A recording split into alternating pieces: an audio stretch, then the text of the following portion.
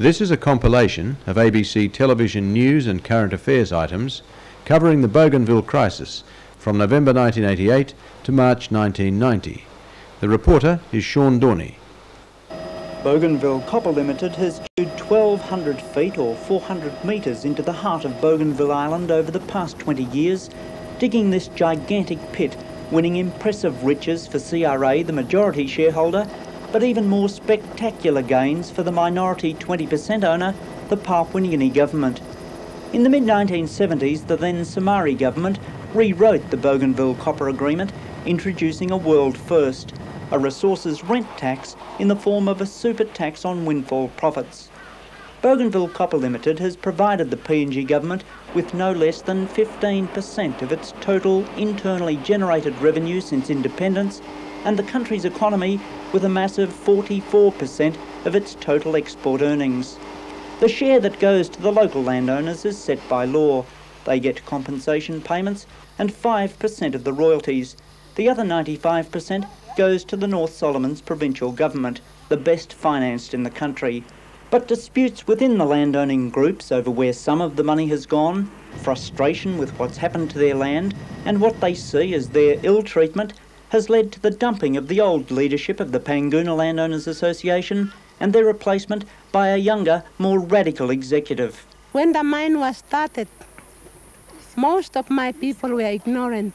I was a small small girl when the company came, and I have grown with the company, and I know what's good and what's bad. The new executive is demanding 10 billion kina compensation, $14,000 million from CRA. To press their demands, they've embarked on a coordinated sabotage and arson campaign. In the space of half an hour one night, raiding parties set fire to six installations spread several kilometres apart around the Panguna town and mine site. They stole explosives and blew up a power pylon, bringing mine production to an abrupt halt. The company is clearly worried by what it sees as a breakdown in law and order. Well, we're very concerned about the, uh, the current situation, and in particular, of course, our concerns are for the safety of the employees and their families, and uh, that's paramount, of course. And uh, secondly, we're concerned about the uh, protecting the company's assets. One of the issues of greatest concern to the landowners is waste. The Djaba River has suffered the most and the people claim their fish are being poisoned. All the scientific tests, including one done most recently by a visiting independent New Zealand team, have shown that this river is not chemically polluted. The natural state of our land has been exploited and all our resources have been gone forever. And the people think this land will never be restored to its natural state. That's why my people are demanding 10 billion kina. According to the Catholic priest at Panguna, Father Bob Wiley, the suspicion of the local people dates back to the Australian colonial period and the attitude of the administration, summed up by the then Australian Minister for External Territories, Mr C.E. Barnes. Uh, the Minister for uh, Territories came up, uh, Barnes, and he came to talk with the people, and he talked very little, got off the plane and said, you get nothing. So right from the beginning, there's a lot of deception going on, misunderstanding, lack of negotiations from the beginning, and frustration has built to it now, like a pressure cooker, it has exploded. So. Did you think it would get this far? I really never thought it would get to the point of destruction. I thought possibly when they talk about shutting down mines, there would roadblocks and so forth.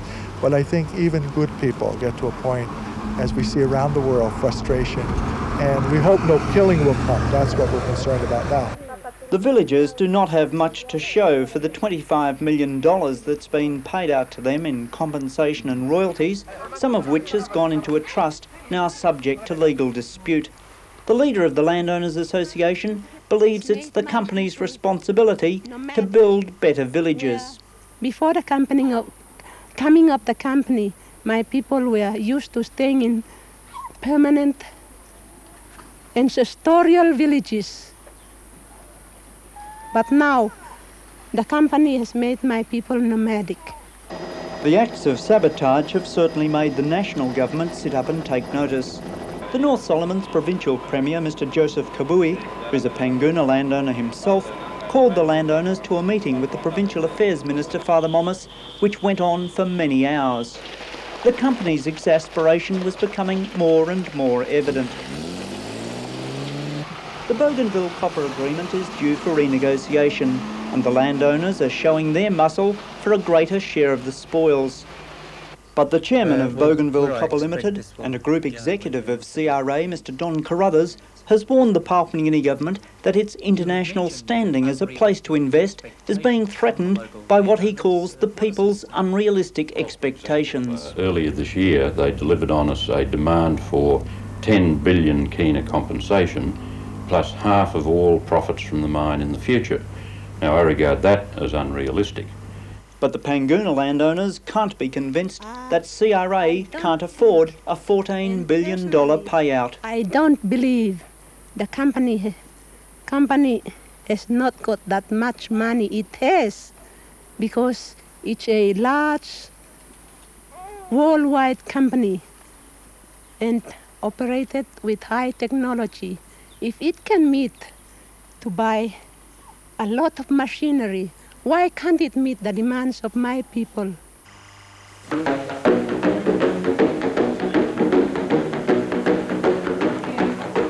Bougainville was a most reluctant partner in the Papua New Guinea nation.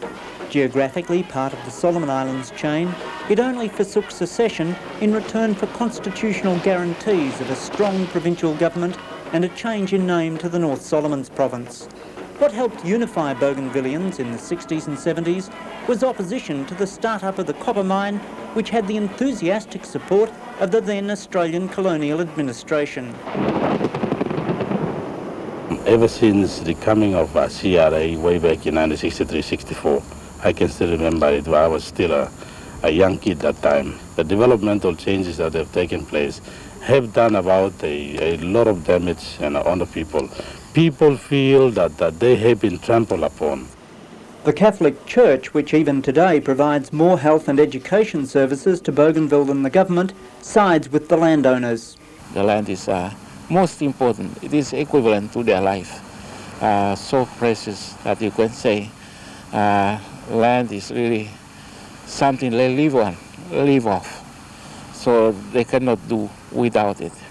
Not like in any other country where you live on uh, cash. But cash is something Bougainville Copper Limited has produced in abundance. Bougainville Copper is a fantastically profitable mine. Last year, 1988, total profits amounted to 108 million kina.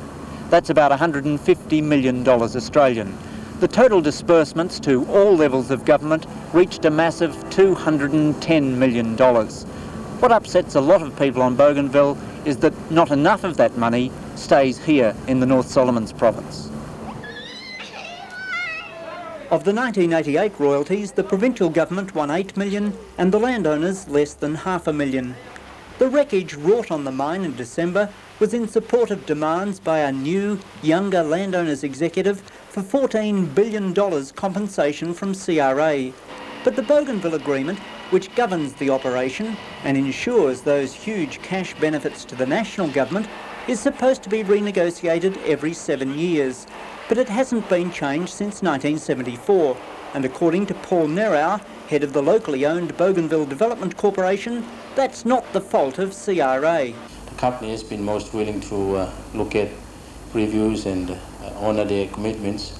I believe our uh, politicians, our governments, uh, not any particular government, but all governments for, for the last 15 years, both provincial and national government, have failed to really look at this issue uh, as to uh, the uh, proportionate distribution or equitable and meaningful uh, distribution within the province. Leading the landowners is Francis Ona, a former surveyor with the mine who is now hiding somewhere out here in the bush with his group. The police don't even have a photograph. Sent into the province in large numbers in January, the police have had a frustrating time of it. You know where to set up your roadblocks for tonight? But while the police have had to guard the mine, the towns and the main roads, they've been under orders not to raid Ona's suspected jungle hideouts. However, the Premier has just been there into the jungle to meet Ona. Francis is actually um, very happy with the way things have, uh, have gone about. I have uh, kept him, kept Francis informed of um, the correspondence that I've had with the national government. Is he prepared to give himself up? Francis is not a, he's not a criminal. I mean, he's not running away from anybody. Australians have a, have a person like Ned Kelly, you know, who uh, historical records have is a, is a notorious criminal, you know, who was vented on uh, um, murdering people, stealing and looting uh, and these sort of things. Francis doesn't belong to that category. But what about the damage that was done to the mine? The damage that was done uh, was a, was done as a uh, tactic to attract the attention of the world.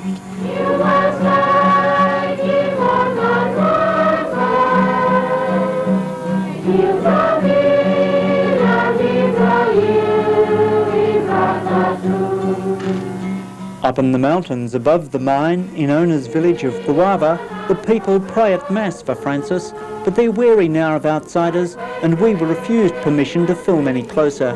Their bishop says Ona should go free. I think uh, Francis Ona should be given an amnesty by the government. The government would have to, you know, ignore what he has done. He has done all this, uh, what he has done, uh, as a signal to to to call government's attention uh, to what what has been happening. The cry of the people for 20 years for better condition for living and uh, and uh, equitable compensation for the, their land. Bishop Singkai is also sternly critical of the police curfew, and the Premier, who's a former seminarian himself, has complained about the behaviour of the riot squads, accusing them of harassing ordinary villagers. With two of the major authority figures in the province supporting Ona, the provincial police commander, Luke Pangau, has not had an easy job controlling his men, who feel that they are being held back from, as they see it, cleaning up the problem. But don't you find yourself in a bit of a peculiar position as chairman of the, the Peace and Good Order Committee for the province, uh, with the police wanting to crack down on these people who have broken the law? I think I, I am in a difficult position, but again, at the same time, too, I see my role as a, as a, uh, a person who who knows the the underlying uh, motives and the reasons, and uh, how far, how you know, how how deep the uh, the whole problem has gone now. The best way to deal with the problem is, uh, I believe, let the uh, police do their home homework and do their job and, and I believe uh, if uh, in the course of doing the job, if they have uh, breached certain rights and constitutional guarantees or protections, well, I believe uh, after that the, uh, the, the law will take its own course. Through all this, Francis Ona has become something of a folk hero, especially to the young. Premier Kabui says Ona has given him a commitment in writing that the landowners are now prepared to negotiate on the $14 billion compensation claim. The Port Moresby government has already announced changes to the mining laws that will quadruple the payout to landowners. Francis Ona regards that as partial victory. When I met up with him um, uh, on Saturday, he, he was uh, very happy and uh, he admitted that um, we have come a long way now. What I wanted to achieve by doing what I have, I am now, you know, I'm achieving it and uh, we are getting there. Soldiers from three different companies belonging to both the 1st and 2nd Pacific Islands regiments have been flown into Bougainville. Their numbers doubled since the ambush in the mountains near the Bougainville copper mine last week resulted in the fatal shootings of a lieutenant and a private. The violence began on Bougainville last December when a militant landowners group led by the elusive Francis Ona took to the bush after launching a sabotage campaign against the copper mine in support of demands for $14 billion compensation from Australia's CRA. The trouble ballooned to include an outbreak of ethnic trouble and the destruction of squatter camps. The introduction of riot police and the granting of some concessions to the mine landowners failed to resolve the worsening situation, so in came the troops. With well over 200 soldiers already here and more than 350 riot police on the island, this joint police and defence force operation is the largest that Papua New Guinea has ever seen. The military operation against the militant landowners is being planned in detail, but the soldiers have won over much local community support, even despite last week's shootings, according to the head of Bougainville's crisis committee, who's a Bougainvillian. Basically, the, the approach that they have taken has uh, built up a lot of confidence among the community leaders and the villagers. Uh, despite this incident, The number dead since the troubles began in December is now more than 10, and it seems certain to rise unless the militants surrender. Armed riot police checked all vehicles going into Panguna. Shareholders attending the annual general meeting were told of last year's profit of 108 million kina, $150 million, and how, despite the troubles now afflicting Bougainville, production in the first four months of this year had not faltered. However, the chairman of Bougainville Copper, CRA's group executive, Mr Don Carruthers, told the meeting the board was profoundly grieved by recent events but that the company had consciously resisted the temptation of letting what he called an irresponsible band of malcontents sour his company's attitude towards the mine's future. Naturally very concerned about uh, the events in Bougainville in the last six months, but we believe now that the uh, government uh, will be able to restore peaceful conditions here in time. This year's annual general meeting is being conducted amidst unprecedented security. But next year, if the problems are resolved and if one proposal now before the government gets approved, some of the shareholders in that building could well be landowners.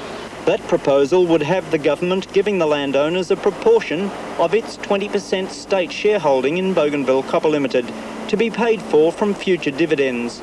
Meanwhile, down on the coast at the port of Kieta, the departure from the province by non-Bougainvillians continues.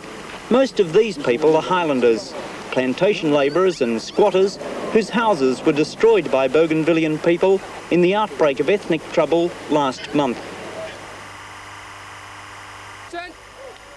Full military honours were accorded to the two young soldiers, the first Papua New Guinea Defence Force troops to be killed in action since the country attained its independence from Australia 14 years ago. That they were killed by other Papua New Guineans in an internal action has caused much grief. Second Lieutenant Stephen Yandu from Wasera in the East Sepik was only 20. Private Martin Romas from the Oro province was 21.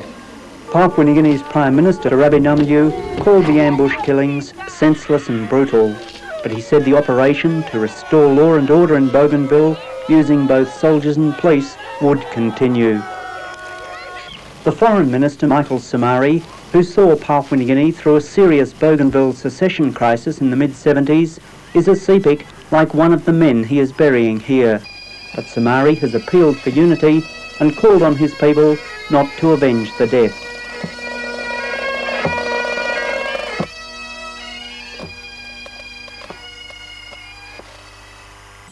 This is the heart of one of the world's greatest copper mines. Normally there's non-stop activity 24 hours a day. Now it's idle. The militants have achieved for the moment their objective of shutting down Bougainville copper. Mining equipment has been attacked. A militant saboteur snuck aboard this giant steam shovel, burning out the engine. This company four-wheel drive vehicle was set ablaze on one of the tracks running into the jungle which surrounds the huge open-cut pit.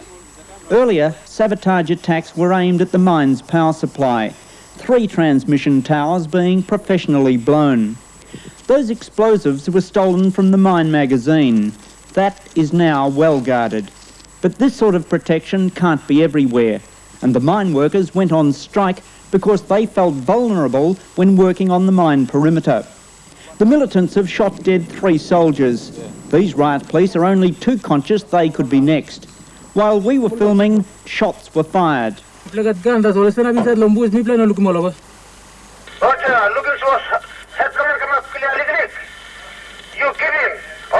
This huge mine can't be defended against sniper attack from the bush. The militants have found their latest tactic to be dramatically effective. The Namaliu government this week stopped short of a state of emergency but its options are narrowing if it wants to keep its most valuable export earner functioning.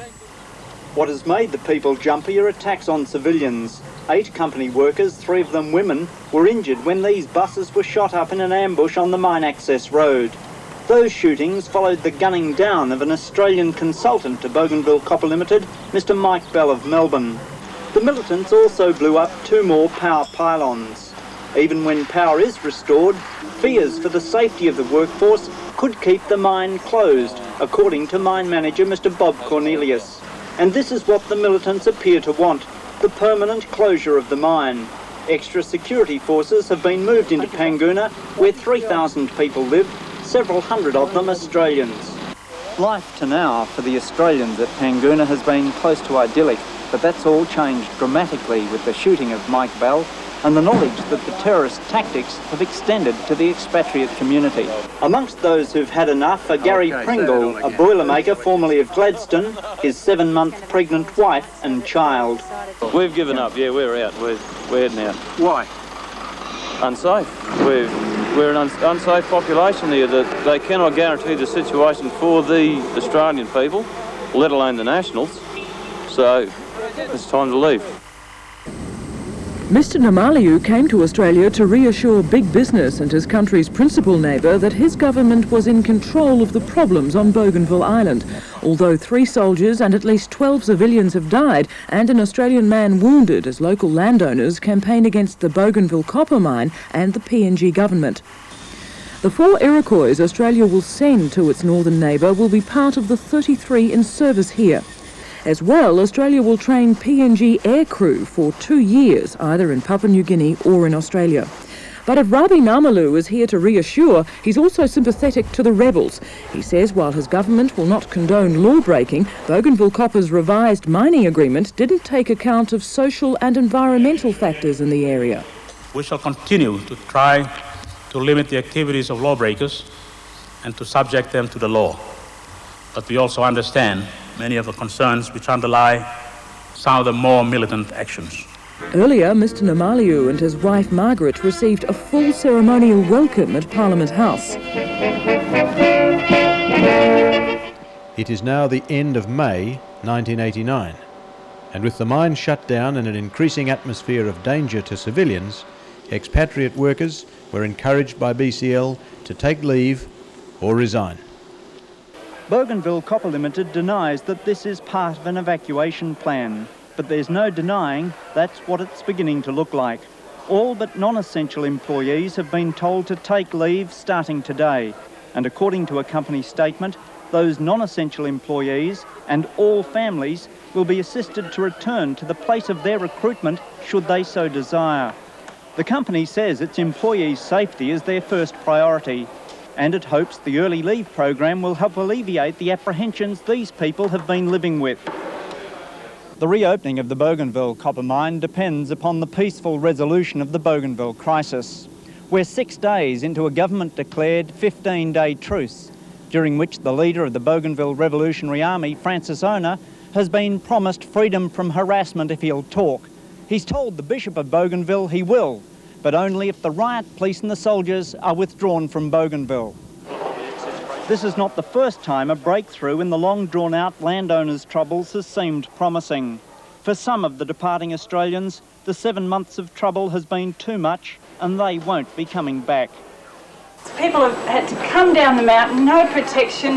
There's gunfire, there's pylons being shot down, grenade launchers being shot over the top of houses at Panguna, and we're just being left for dead. I've got my daughter here, I'm scared for her. We can't go because there are no packing boxes to pack us out, and I'm, I just don't know what to do. These families are some of the 3,500 staff forced to take their annual leave.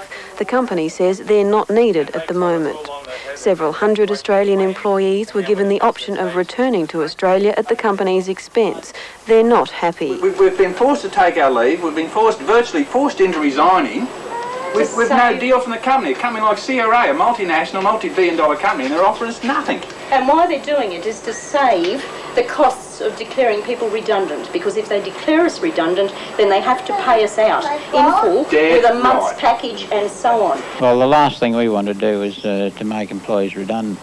Uh, obviously, uh, there is a cost impact um, for the company, uh, but uh, you know, initially and still, prime motivation of the company is the security of their people, and that's why we're offering the the uh, company is paying airfares for, for people to go out and come back, and we're also, uh, you know, providing some subsidies in that. One uh, worry must be that you're going to lose some very good staff. Yes, unfortunately, that's true. The situation here is as critical as it can get. People are scared. For those who are working, I had women come down to me to say that they're scared for their husband's safety. There is shots, you know, there's shooting going on. My husband is up the mine at the moment. My husband had to go up this morning to get his personal effects out. Years and years and years of teaching aids that he's accumulated that are too precious to lose.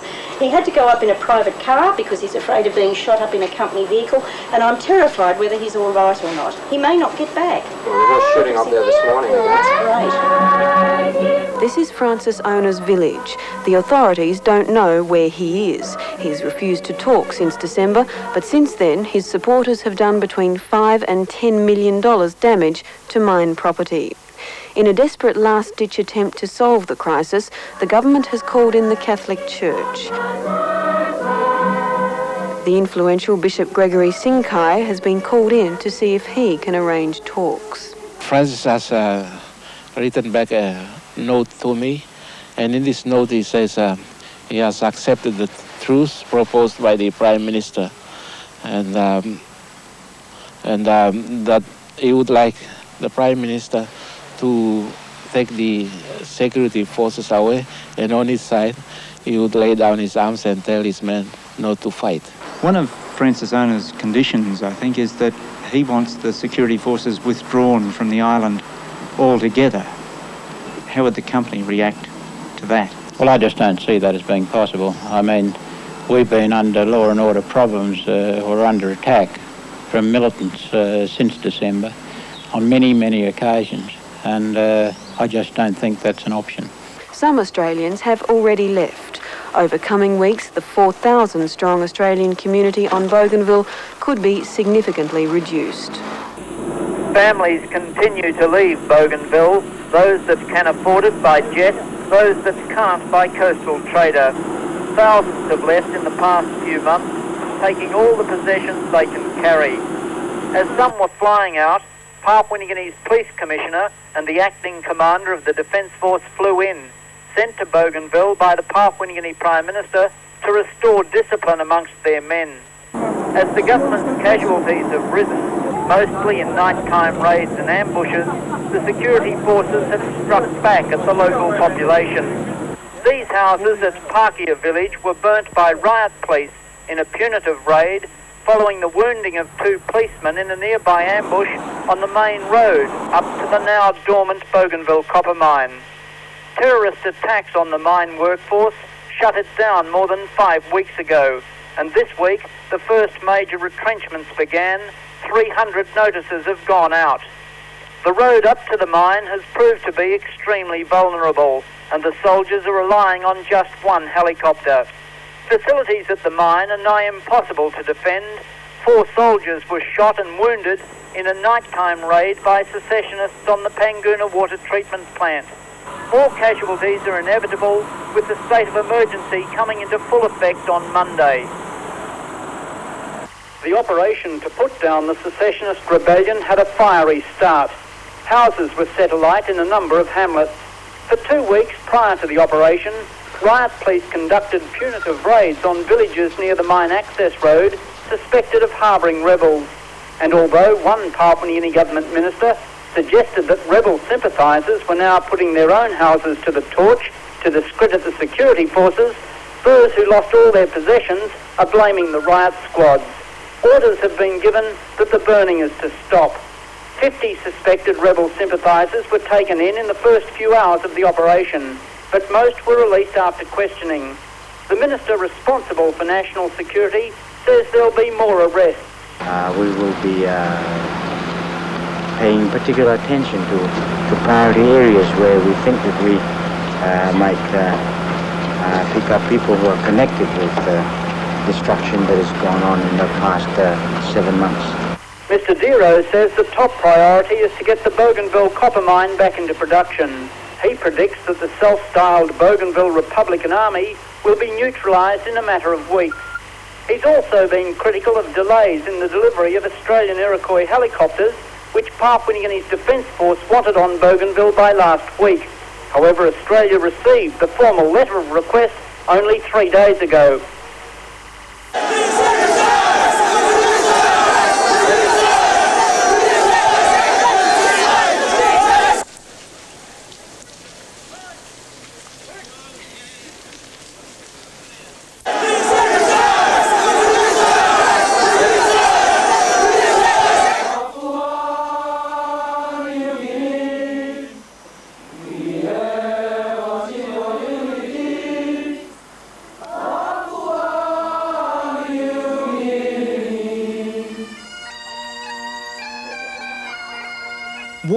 Not new to Bougainville.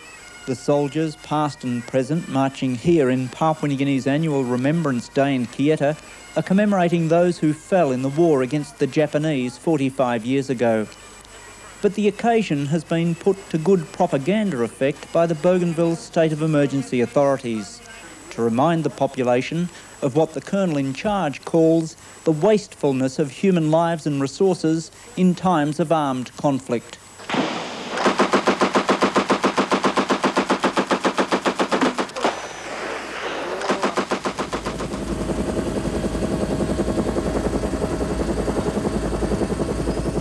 Up in the mountains, it is day 26 of the state of emergency, but it's not a foreign enemy that these Papua New Guinean soldiers are trying to kill. It's other Papua New Guineans, Bougainvillians who no longer want to be part of the nation, but to secede.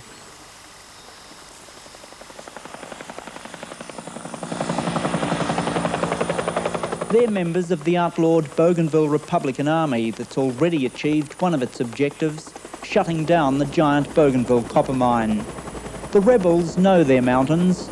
They'd even established fortifications overlooking the pit. I took about six hours by Charlie Company of 1st Battalion initially about 14 days ago and uh, six hours of battle and uh, we have secured this ridge.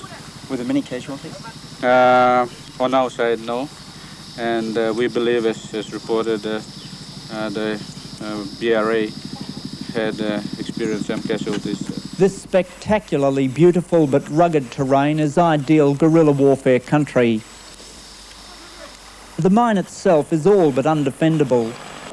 The security operation against the rebels has been relying on a commercial helicopter hired from an Australian company. But the three-month, half-million dollar contract has expired and this helicopter has had to pull out. Papua New Guinea wants to swing ex-RAAF Iroquois into action on Bougainville, although last-minute hitches over conditions, crews and spare parts are causing some exasperation to the men in the field. According to the commander, the Papua New Guinea soldiers are now taking the fight to the rebels, and it's to get the men in and out of these mountainous jungles that the Iroquois are needed. The troops know that whenever they're in trouble, we'll be able to move in there and pull them out or reinforce. Uh, so it's, it's very important. Although Australia's CRA encountered opposition from the local landowners when it was opening up the mine 20 years ago, nobody anticipated the campaign of terror and sabotage that has now paralysed operations. When the mine is in full production, these trucks haul out about $2 million a day worth of gold, copper and silver. 40% of Papua New Guinea's national exports. They haven't moved for 10 weeks now, and it's not only the trade figures that are suffering. You get some idea of the seriousness of this whole problem for the Papua New Guinea government when you realise that the mine provides 20% of national government revenue. The company says it's bleeding to death. The national budget is hemorrhaging. The riches that over the years have been gouged out of the land and poured into the national government coffers in Port Moresby have only exacerbated the grievances of the landowners, whose $30 million share in compensation and royalties has been far from evenly distributed. The current troubles began when a younger, more articulate leadership of the Panguna Landowners Association emerged, led by Perpetua Serero, whose recent death from pneumonia has made any solution even more complicated. The natural state of our land has been exploited and all our resources have been gone forever. And the people think this land will never be restored to its natural state. That's why my people are demanding 10 billion kina.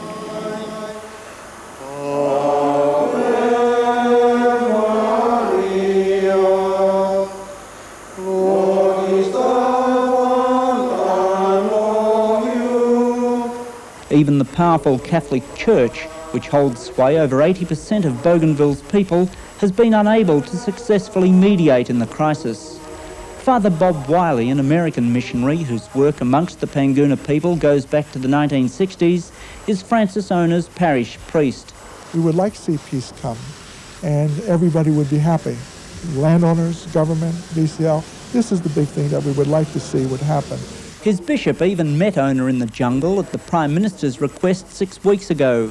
But by then, Ona had linked up with a cultist group, the 50 Toea government, and it's not clear who is in charge or how many rebels are under arms. Knowing these men, but not having seen them and no contact with them, I would think you'd have to say, well, Francis is a good man, and I think he still has control. I think there's a lot of uh, rumors or hearsay. Can you see a resolution in the, the, short term? In any solution like this, is there a short term?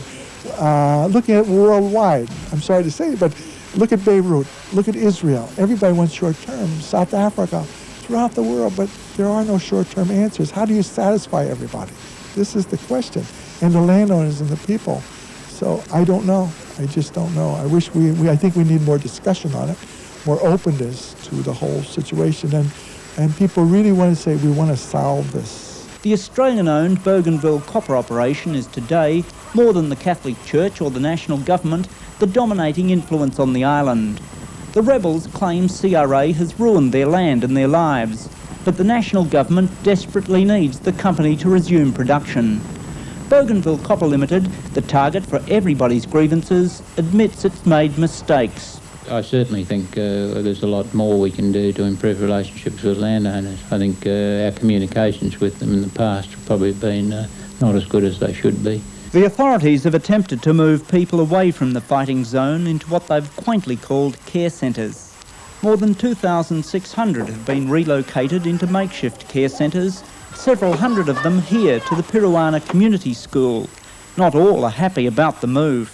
The children have had to abandon not only their homes but their schools.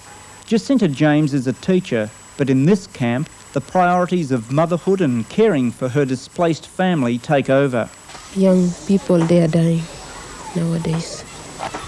And they are thinking is that if this thing stops later on then we won't have any young people to continue on the living that we have in here. What is going to be the end to this problem do you think? I think to me my opinion thing as uh, usually uh, these young, uh, old people talking in here.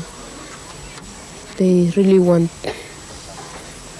the what the North Solomons to break away from the the old of the PNG. That's what they really think. The company has already lost 30% of its expatriate workforce, mostly Australians. This is an island engulfed in conflict. But those who haven't left want to hang on to a lifestyle they enjoy. Eventually, they may have no choice. Well, that says it all, I believe. I think it has sort of been sort of rumbling there, although you don't sort of say, oh yes, I'm all tensed up and very nervous. It has to be there because you have to be a bit more aware for your family's sake. And you, you know your husband goes up the hill every day and you know, if you're unlucky, he does has to do work that has to be a little bit more dangerous now. He, he has to go into the country then out into the bush, they, they supply armed escorts, but they don't stop bullets, you know, things like this.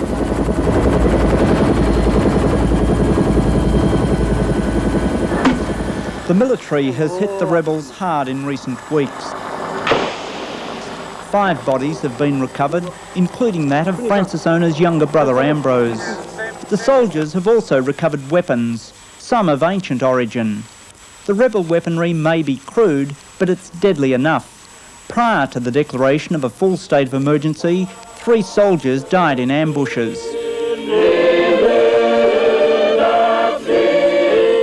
The Bougainville state of emergency presents Papua New Guinea with a crucial test in its 14th year of independence.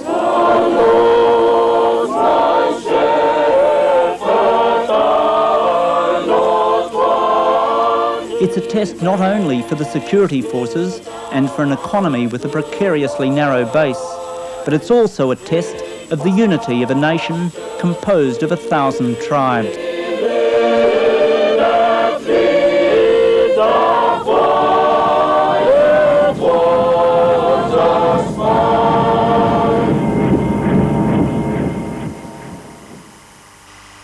There's been no surrender yet by the former mine surveyor and militant secessionist advocate Francis Ona. The Papua military, who appear to have got the upper hand in recent weeks, thanks in no small part to the Australian donated Iroquois helicopters, have been withdrawn from the jungle yet again to make way for the latest peace initiative. The soldiers are guarding the mine and protecting crucial facilities such as the recently restored power line. The only thing that's been holding back a resumption in production is fear. Fear on the workers' part that they might be attacked by the still disaffected landowner militants, especially at night in this 24-hour operation. And fear on the company's part that any such attack would put the mine permanently into mothballs. The rebels have caused millions of dollars damage in their nine-month sabotage campaign against the copper mine. At the heart of the landowners' grievances are environmental factors such as the destruction of the Jaba River Valley. The new deal being offered by the Papua New Guinea National Government includes more compensation for the landowners and vastly improved benefits, as well as partial ownership of Bougainville Copper Limited. The return to full production will be cautious and tentative. There's a real air of apprehension because of the sudden and destructive attacks by the rebels in the past. The military officer in charge on Bougainville, Colonel Lima Dotaona, returned to Port Moresby to argue for a two-month extension of the state of emergency. Back on Bougainville, his men who had pulled out of the jungle on orders from the government could not prevent the repeat of earlier terrorist and sabotage attacks along the mine access road. Buses were shot up again yesterday and another power pylon was felled by an explosion this morning. The company says it will be a week before power can be restored, but any resumption of production after that will depend entirely upon worker safety. Papua New Guinea's opposition leader says the country's image has been damaged by yesterday's aborted startup. The government was confident that the mine will open and will open permanently, uh, but the militants have again taken the law into their own hands and uh, they've closed the mine. Prime Minister Namaliu claims the attacks are a last desperate bid by a minority to prevent a settlement between his government and the rest of the landowners. But that minority is proving a formidable foe. In mid-September 1989, killers thought to be members of the BRA gunned down Provincial Minister John Bika.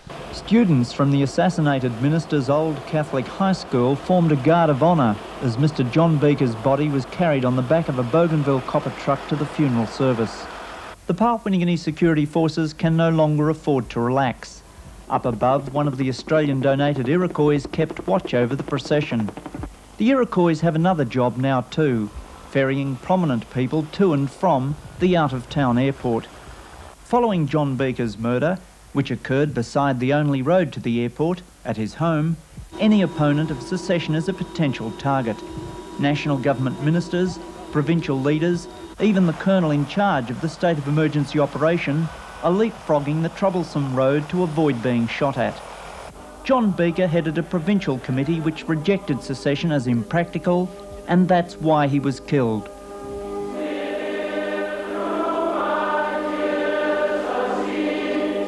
Bika's assassination by the secessionist rebels has not only put off the signing of a new deal for the mine landowners, it has also delayed any restart of work at the copper mine. For the Kieta people, it's meant further grief in an already tragic situation which is defying solution.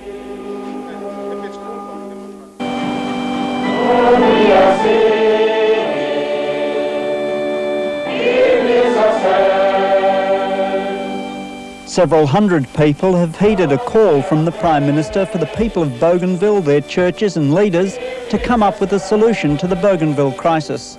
They're calling themselves the Rainbow Volunteers. and they've been training here at the Rainbow Rehabilitation Centre for Young Criminals at the Catholic Mission at Koromira for the past five weeks to be ready to go into the bush to ensure that the rebels keep the peace, but only after the security forces are pulled out. We can't start work uh, with the barrels of the gun, uh, people fighting here and there. We want peace before we can uh, start uh, the operation. The troops have been on Bougainville for more than six months, but the dispute is no closer to resolution. This week, the rebels blew up another power pylon, severing power to the already paralysed Bougainville copper mine. The daylight sabotage, in what is supposed to be the secure corridor between the mine and the mountains and the port, re-emphasised the extreme vulnerability of the mining operation and the ineffectiveness of the current government strategy. The Rainbow Volunteers' suggestion for a pull-out of the troops, peace and negotiations involves considerable risk for the Prime Minister. But the Koromira mission has secured a communications link for Mr Namaliu with the rebel leader Francis Ona, and they say Ona has guaranteed peace if the troops and riot police go. The Rainbow Volunteers feel that we have uh, got very good cooperation between Francis Ona and ourselves, and I think you will certainly support us. While this could mean an end to the violence, it would only be the beginning of what would be very tough negotiations involving the landowners, the national government and Australia's CRA for compensation and a possible reopening of the mine sometime next year. Despite the presence of more than 700 soldiers and riot police on Bougainville for the state of emergency, the telecommunications station was not guarded nor is the town's water supply that stands just below. The rebels from the self-styled Bougainville Republican Army, the BRA, were able to gain entry through a fence and they blew each of the four legs of the tower, rendering it unstable. They gutted the hut containing all the communications equipment. The BRA has stepped up its activities just as Prime Minister Namaliu has convinced the CRA board to hold on while he strives for peace. But on the day that CRA met in Melbourne, the militants ambushed and killed three policemen. A little broken glass and some spent cartridges are all that mark the scene of what Prime Minister Namaliu has described as a payback killing of great ferocity. This small bridge between the Aropa Airport and the Koromira Catholic Mission may well be the spot where Prime Minister Namaliu's bold peace initiative plunged off course. In the increasingly tense atmosphere, civilian casualties are mounting too. An Australian-born academic, Graham Aitken, has undergone hours of surgery after being shot through the left shoulder by a soldier who fired at him as they overtook a military vehicle at night. Adaninka lost his wife and four-month-old son, shot dead as they slept in their house at the secluded Pamu village on Bougainville Island. Eyewitnesses say a soldier indiscriminately fired a burst from a submachine gun. One bullet passed through the bamboo wall hitting the 22-year-old mother and child in their bed. Guys whom they suspected were with them on the vehicle and they could have questioned them instead of firing straight into the village. And it was totally unwarranted. The, the shots were totally unwarranted. Papua New Guinea's Police Commissioner Paul Tohian says the shooting is likely to affect adversely the chances of ending the long-running Bougainville dispute and some locals here don't discount the possibility of yet another payback killing. The incident couldn't have come at a worse time for the Namaliu government. In four days, the National Parliament will decide whether or not to renew the state of emergency on the island for a further two months. The provincial premier has called for the bloodshed to end and the military to be withdrawn. After 12 months of escalating conflict and apparent government reluctance for stronger military action, the Prime Minister is now under pressure from the stricken Bougainville mine for an upgraded Defence Force presence. As the mine provides 40% of Papua New Guinea's annual exports and a fifth of total government revenue, the stronger military option is likely to be adopted. The killings coincide with today's forced retrenchment of 1,000 employees from the Panguna mine, which CRA has shut down indefinitely. About 200 Australians began leaving the island today, where some have lived for up to 20 years.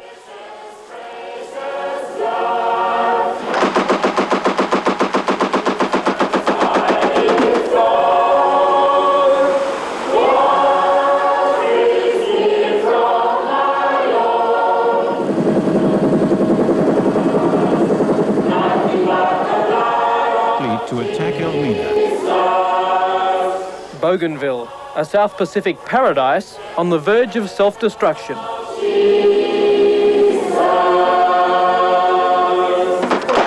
In 12 months, almost 60 people have died.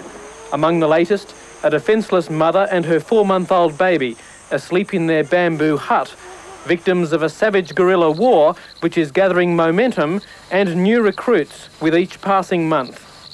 But the fight isn't really between the countrymen of Papua New Guinea and the Bougainvilleans. Rather, it's between a small group of Bougainvilleans with an affinity for their land and the national government, which they say has not allowed the fair distribution of the benefits arising from Australian mining giant CRA's operations here at Panguna on Bougainville. The militants, led by Francis Ona, have been so measured in their attacks that they've been able to keep the mine idle since May last year.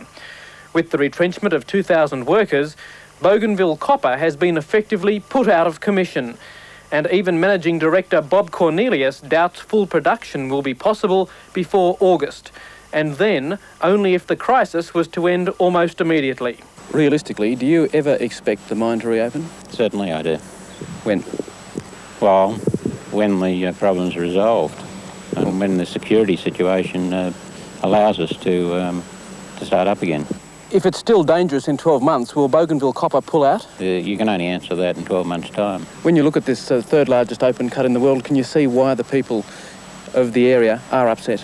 Oh, certainly. I can, I can understand, and uh, for, for quite a long time, uh, uh, it's been apparent that um, uh, some better distribution of benefits uh, rising from the mine uh, should have, should have, or some increase to the province should have been taking place. While the dispute has crippled the mine and stung the local economy, the real losers are the people of Papua New Guinea. They rely on Bougainville copper for 40% of the nation's exports and a fifth of the annual national budget. Francis Ona, he's got the national government over a barrel, hasn't he? Um, I don't think he's got them over a barrel, but he's certainly uh, got them in a, a fairly tight corner. The crunch has been felt on Bougainville since the mine shut down about eight months ago, as businesses go broke and thousands of people leave the island in search of safety and secure employment. Now the rest of Papua New Guinea is going to have to face the full effect of the mine closure as the government takes the toughest set of economic measures since independence. The government's mini budget includes a cut in public sector spending of about 100 million kina, a 10% devaluation of the currency, a credit squeeze and wage restraint. Well, there's no doubt that the PNG economy is in for a very difficult year and uh, will certainly not be out of the woods uh, possibly well into 1993. For those in Port Moresby, the measures mean hardship. Staples like tinned fish, rice and tinned meat are almost exclusively imported and because of the devaluation, the prices rose last week by 10%. Imports continue to clutter the wharves of Port Moresby. While 50% of the population still live in subsistence societies, the rest rely heavily on goods from other countries. The price of cars, most of which are Japanese and out of the reach of most Papua New Guineans, is also set to increase, again by 10%. The building boom, which has hit the capital in recent years, will also slow down as credit is channeled into the mining sector and away from business. Prime Minister Rabbie Namaliu points out a downturn in the price of commodities like copra, coffee and cocoa has also contributed to the need for the tough economic medicine. Bougainville Copper Limited has been shut now since May. Isn't this an indication that Francis Ona has won? No. Do you concede that there's a possibility that it may never reopen? No, I, I, I, I, I don't uh, concede that at all at this time. The Prime Minister says the time for talking has passed. After 12 months of seeking a peaceful solution, he's had enough. He's now commanded the Joint Defence Force authorities on Bougainville Island to win the war. A war which has claimed more lives than the struggle for independence in New Caledonia. Are you talking about martial law?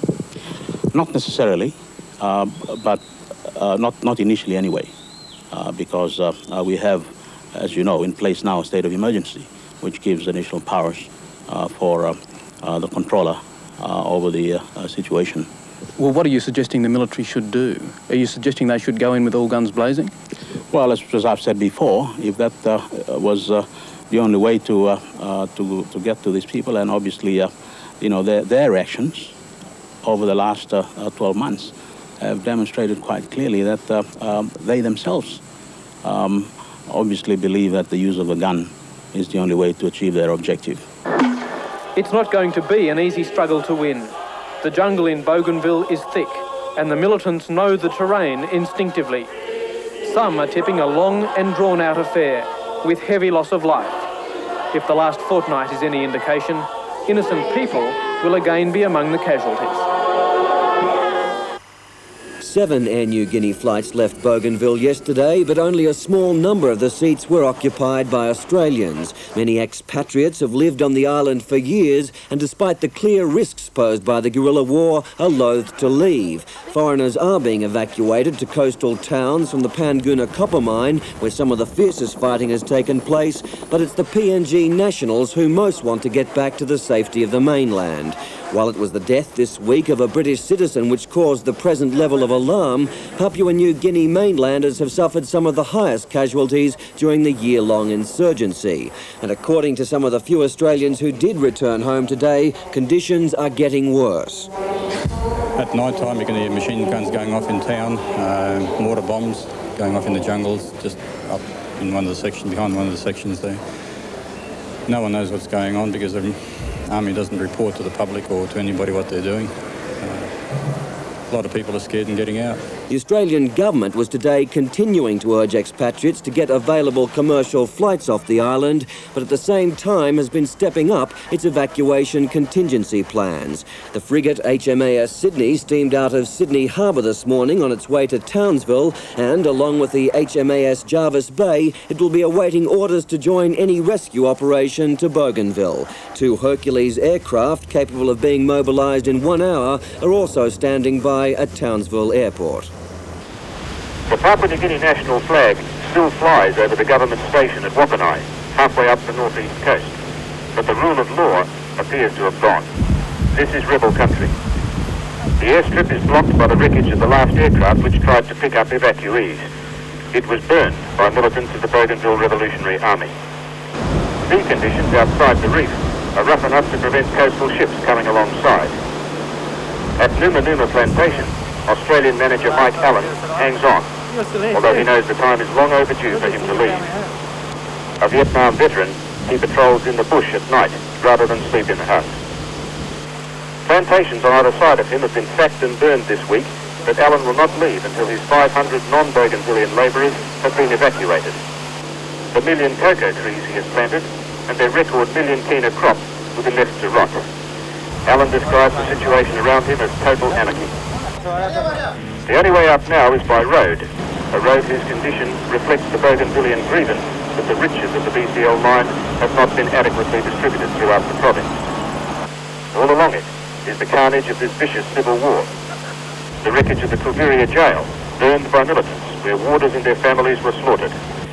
And the hamlets and trade stores burned this week, allegedly by warders in retaliation. Amazingly, in the midst of the conflict, 82-year-old Sydney grandmother, Mrs. Evelyn Hamer, is holidaying with her son, a long-time resident. With her is 22-year-old Sydney art student Kathy Jamison. The stress here, you can just feel it everywhere you go, everywhere's tense. By the first week of March 1990, almost all non-Bougainvillians had left the island. Following a ceasefire agreement with the national government, this included all soldiers, warders, riot squads and even the locally based police force. The BRA came out of the jungle to find itself completely in charge. For Bougainville these days, most of the traffic is one way. The empty aircraft I flew in on was packed for the flight back to Port Moresby. Amongst those competing for seats were two of the ceasefire negotiators, an academic, Graham Kemelfield, and the North Solomons Deputy Premier, Gerald Sinato off for talks with Prime Minister Namaliu. Under the terms of the ceasefire, the security forces are pulling out, pulling out completely. That includes the regular police as well as the troops and riot squads. Some of these men had been based in Bougainville for years. They and their police dogs are now gone, leaving the province without a recognised law enforcement agency. Here at the Kieta police station, the writing is on the wall. Throughout Bougainville, court cases have been adjourned indefinitely because there are no police prosecutors and prisoners have been let out of the cells. In the absence of lawful authority, the Bougainville Revolutionary Army is attempting to set up its own BRA police force. Up until just over a week ago, these men were being hunted in the jungle. Now they're trying to secure facilities such as fuel stations, and they're even checking on their former pursuers. There have been robberies of food, clothes and vehicles, but the red bandana is to be seen outside shops, the symbol of the rebel leadership's effort to maintain order. The BRA's main problem now seems to be one of discipline, keeping control over those who've been described as opportunistic criminals. The total withdrawal of all central government authority has ended the war, but it leaves the uneasy question of what follows now. The road up to the Bougainville copper mine is no longer guarded by Papua New Guinea government troops. The Bougainville Revolutionary Army, the BRA, now has its own roadblocks, manned by some who look as though they should be still at school. The final roadblock is at the boom gate to the Bougainville copper mining lease itself at the top of the mountain. These men now govern the area they terrorised for more than a year. The BRA assures me they are keeping the mine intact, that they don't want to destroy the asset. The exception is the Panguna police station, symbol of national government authority and the home of the enemy, which was burnt down the day the militants took over the town. Panguna appears a ghost town, although as soon as the first strangers appear, the men who had been 15 months fighting in the jungle come out to investigate. The militants who eluded capture and ran an extraordinarily effective guerrilla war appear well fed and hardened by the experience. They now number several thousand. The majority shareholders in the Bougainville mine, CRA and the Papua New Guinea government have no presence at all left up here at Panguna. It's not CRA, but the BRA that's in control here. Relations between the departing soldiers and the men they'd been fighting are remarkably amicable. Prior to the ceasefire, well over 100 people were killed, including 28 government security force members. But these men, who two weeks ago were killing each other, seem to be very glad the bloodletting is over. Members of an international delegation of ceasefire observers led by Ambassador Deborah from Ghana received a shock when they arrived on Bougainville. The police that the national government had assured them would be there were nowhere to be seen, and the last of the soldiers were leaving, some on the jet the diplomats had flown in on.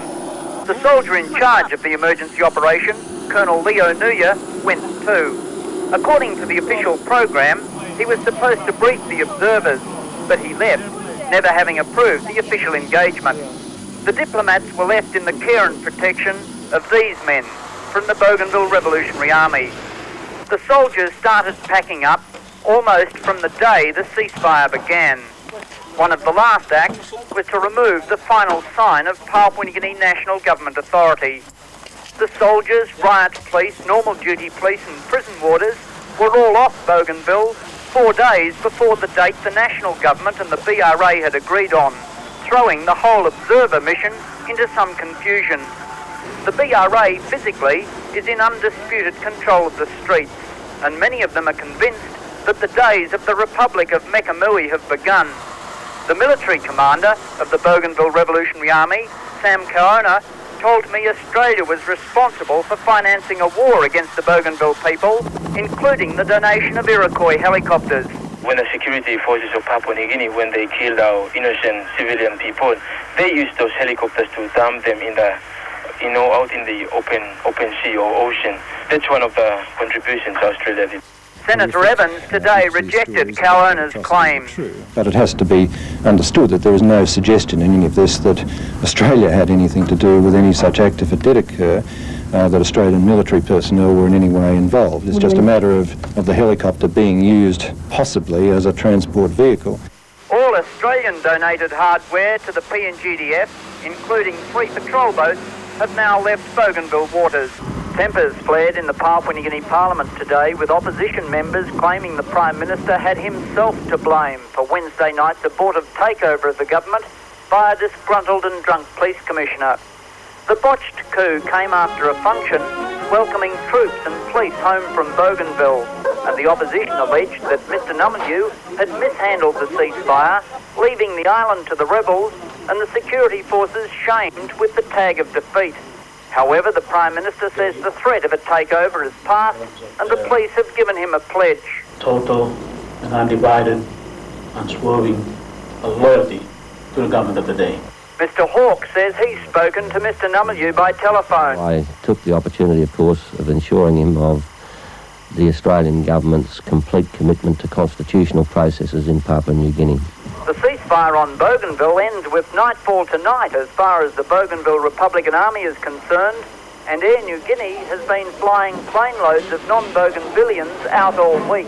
One Australian married to a Bougainvillean has decided enough is enough. You're unsure what's going to happen to your family and yourself, your business, so you've got to just pack up and go and try and start a new life. Bougainville is now controlled by Sam Kauona's Revolutionary Army.